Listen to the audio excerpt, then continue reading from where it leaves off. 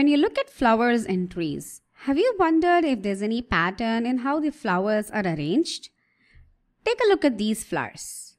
We have begonia, mustard, orchid, and this funny looking flower over here is called bladder campion. Do you see any similarities or differences in how the flowers are arranged in these plants? Take a minute, pause the video if you want, and note down your thoughts. So let's understand the pattern of floral arrangement. First off, what is a flower? A flower is the structure in angiosperms that houses the reproductive structures of the plant. It is formed when the shoot apical meristem becomes the floral meristem. The arrangement of flowers on the floral axis is called inflorescence. Now, what is a floral axis, you may ask? The floral axis is the part of the flower on which the reproductive structures and the other ancillary parts of the flower are attached. So there are two main types of inflorescence, racemose and cymose. Let's delve deeper into each type of inflorescence. In racemose inflorescence, the main axis of the stem keeps growing and the flowers are formed laterally to the sides. So here in this plant, the stem would have initially been say this high as the plant was young. And when it was this high, this flower formed to the sides laterally. And then when the stem continued to grow, newer flowers will be added to the top of the older flower. So in racemose inflorescence, the main axis continues to grow and newer flowers are added on top of the older existing flowers. So this pattern of arrangement where newer flowers are on top of older flowers is called acropetal arrangement. And this is commonly seen in leaf formation as well. When leaves are formed, they follow the acropetal arrangement as well. So because the main axis continues to grow in racemose inflorescence, it can still continue to grow and produce more flowers to the sides. Racemose inflorescence is also called indefinite type of inflorescence. So examples of flowers that display racemose inflorescence include gulmohar. Here you can see this is the main axis that can continue to grow and the flowers are added to the sides laterally. So this here, this bottommost flower is the older flower and newer flowers are added to the sides as the main axis keeps growing. Other examples include mustard, radish and orchid. And we saw mustard and orchid flowers earlier in the video, didn't we? Those flowers also display racemose type of inflorescence. In cymose inflorescence, the main axis first terminates in a flower. Unlike in racemose inflorescence where the main axis continues to grow, in cymose it terminates in a flower.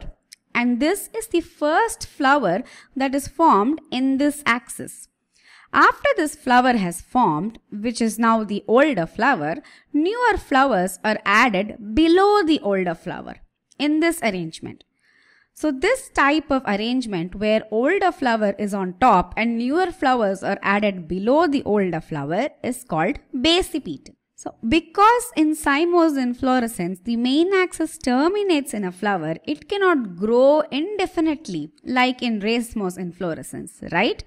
That's why cymose inflorescence is also called definite type of inflorescence. Examples of cymose inflorescence include calotropis, which is here. This is the older flower. The main axis has terminated. Below this, newer flowers are beginning to grow. Other examples include begonia, bougainvillea, and jasmine. And even the bladder campion example that we saw earlier in the video, that also displays this cymose type of inflorescence. So the next time you see a flowering plant, try to figure out its inflorescence. Check if it is racemose or cymose. So now we have quite a lot of confusing terms, right? Racemose, basipetal, cymose, acropetal. How do you remember which is which? Well, I'd like to use something called word associations to remember these terms. And this works for me, and you can come up with your own word associations to remember the meanings of these terms. Let's take a look at racemose first. So, the word racemose has the word race in it. And what happens in a race? We run to see who can finish first, right? So, I'd like to think that in racemose inflorescence, the flowers are competing against each other to see who can be on top who can be on the topmost part of the stem. And what happens in a race when old people like your grandparents try to compete against you? Well, you're more faster than your grandparents, right? You will obviously win the race.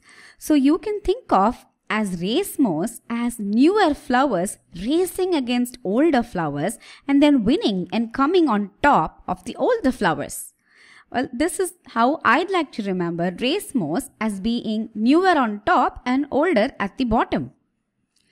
And race racemose also has the word acropetal in it. Acropetal also means newer on top and older in the bottom. The word acropetal can be associated with the word acrobat. And have you seen acrobats in circuses? They like to jump high in the circus, right? They jump high and they do all sorts of stunts. And usually acrobats are people who are young. Old people like your grandparents cannot be acrobats, right?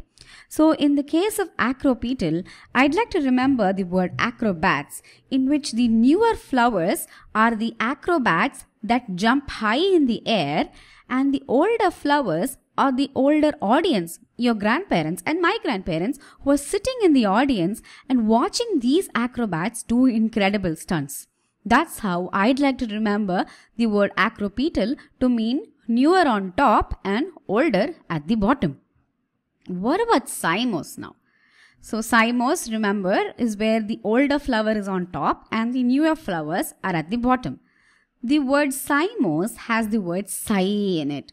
And sigh is what the older people in your house, your parents, grandparents do when they're disappointed in you, right? You sit below them on the floor and they're standing and they're looking at you with a disappointing look and saying, sigh, you've done it again. That's how I'd like to remember that the older flowers are on top and we, the younger flowers, the younger people are below them, are sitting below them on the ground. That's how I'd like to remember cymose with the word sigh. Now, what about the word basipetal? Now, I'd like to think that basipetal has the word boss in it, or it sounds similar to the word boss. And who's the boss in our house? It's always our parents, right? It's always the elders who are the boss in our house. That's how I'd like to remember basipetal as the older flowers being the boss. They're on top. And in the hierarchy, the newer flowers, that's us younger people, we're below them. That's how I'd like to remember basipetal to mean older on top and newer at the bottom. You can come up with more quirky, weird word associations that you can use to remember terms not just in biology but in all other subjects. Cool, isn't it?